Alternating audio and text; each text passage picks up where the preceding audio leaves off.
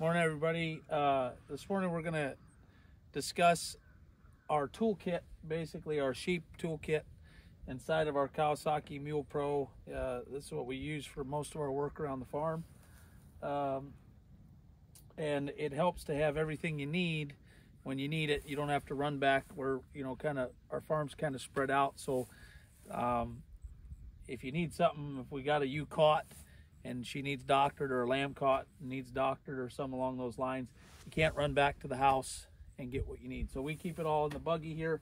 Um, we keep uh, various uh, marking devices, marking crayons. These are nice.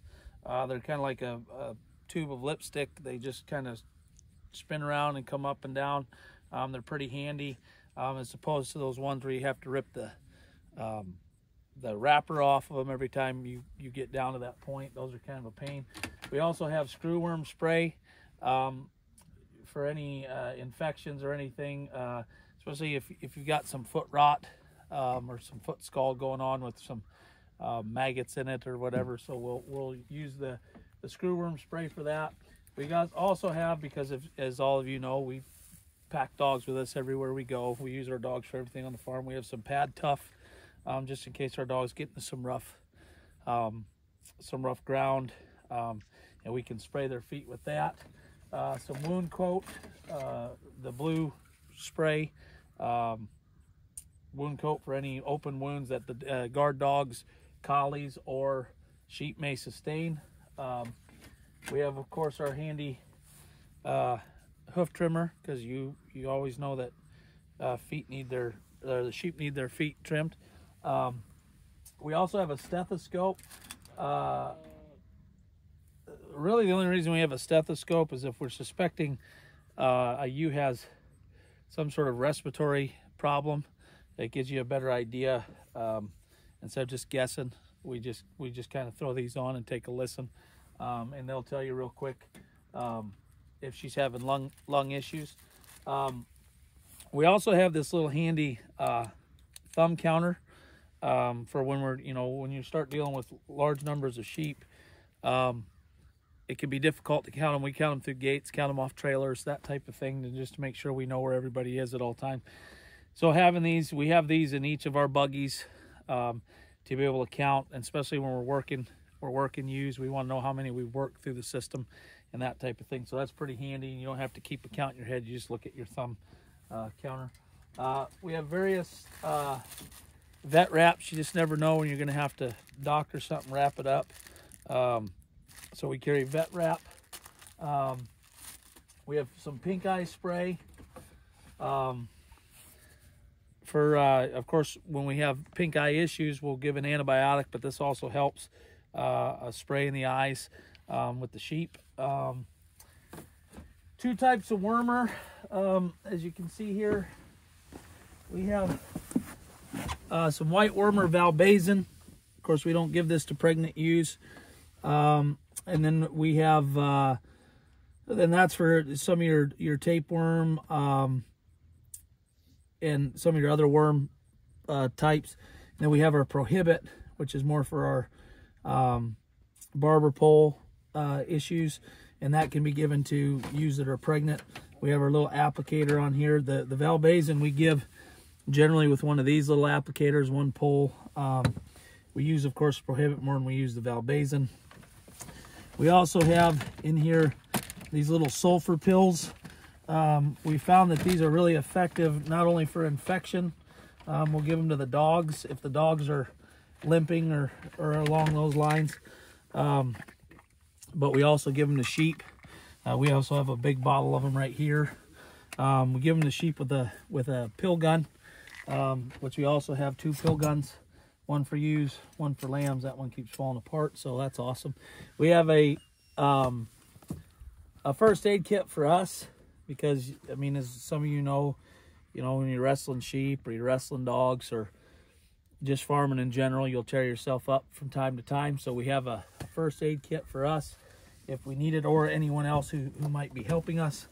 Um, we have a lamp.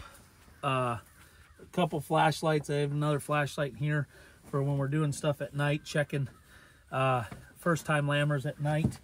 Um, moving on over here, we have um, Spectagard, which is actually a, a, a, solution for, for pigs, but it works really good for scours, especially in, in young uh, lambs. It's a really good scour medicine. Um, and you can generally know who you're giving it to because it, it'll give them a red tint around their mouth.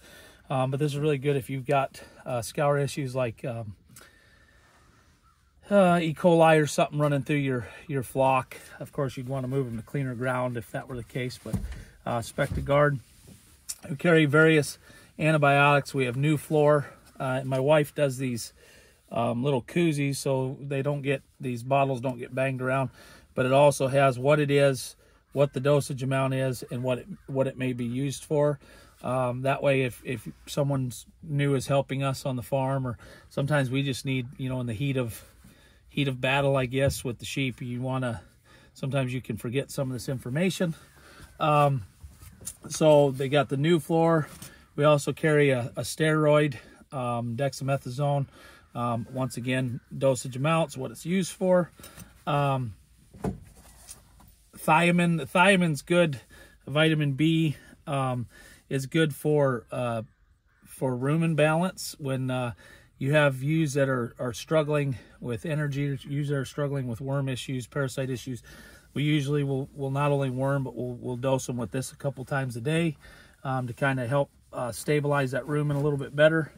Um, of course, the old go-to LA200. Um, we're using this less and less because uh, we like the um, the Draxxin um, better. It's kind of a one-shot alternative, and now that there's a um, a generic version out, it's a lot less. It used to be about, I guess, six dollars, five, six dollars a, a and now that the generic's out, it's half that. Uh, oxytocin. Um, if we if we have ewe, I mean, our our lambing is pasture based, and so we let the girls kind of handle their own business out here as much as we can. But if we have a ewe that we feel hasn't passed her afterbirth, um, I know some people like to pull her afterbirth, but you risk breaking afterbirth off because it's such a fragile uh, such fragile tissue. So we'll give, we carry the oxytocin just to help them pass afterbirth if that's necessary. Um, a little pair of forceps. Uh, Banamine, uh, anti-inflammatory pain uh, reliever. It's really good if uh, if you have something with a fever, especially respiratory type situations, to give the Banamine with it um, to help reduce fever. Um, and then, like I said before, we've got our uh, Drax, and we use this uh, this generic, but uh, it's one one mil per hundred pounds. It's really effective stuff. Um, helps with eh, pretty much anything, uh, foot issues, uh, respiratory issues, that type of thing. Um, we uh, in this little bag here, we carry dog leashes, twine that we you never know when you're gonna have to tie something up. Um, we also have this little box in here that we use that handles all of our, um, we carry extra syringes, extra needles in it because um, if you break one out here, you, you need to have replacements.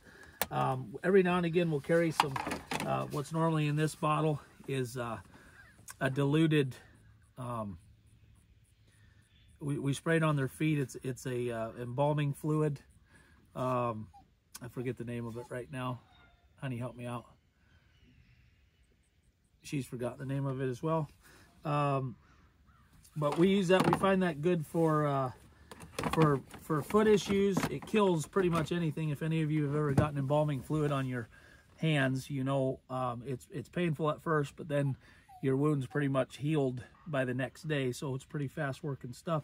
We carry an air pump for the buggy, uh, for the ambulance. Ambulance tires are always going flat which we're still trying to figure out a solution for that. But we got a 12 volt operated uh, air pump to be able to, because you can't just say, well, I can't take a ewe home that's having trouble because the ambulance tires are flat.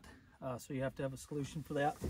And then around the back side here, of course, our various um, our various feed buckets, dog feed buckets. We have a toolbox with fencing tools, so on and so forth. We have one of these handy Kiwi crooks. We get these from um, from Premier One. They have a, a uh, neck catch, and they also have a leg cleat at the bottom that locks. Um, the other day we did the video on our on our uh, hobbling uh, for for sheep.